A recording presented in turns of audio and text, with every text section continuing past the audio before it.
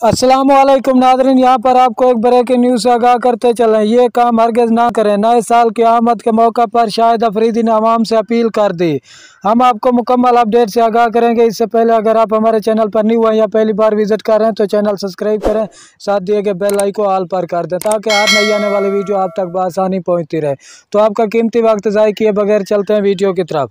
कराची, नए साल की आमद पर सबक कप्तान और सटार, क्रिकेटर शाहिद अफरीदी ने आवाम से हवाई फायरिंग ना करने की दरख्वास्त की है। तफसीत के मुताबिक शाहिद अफरीदी ने कहा कि कराची पुलिस की जानब से आवाम से दरख्वास्त करता हूँ कि नए साल पर हवाई फायरिंग नहीं कीजिए।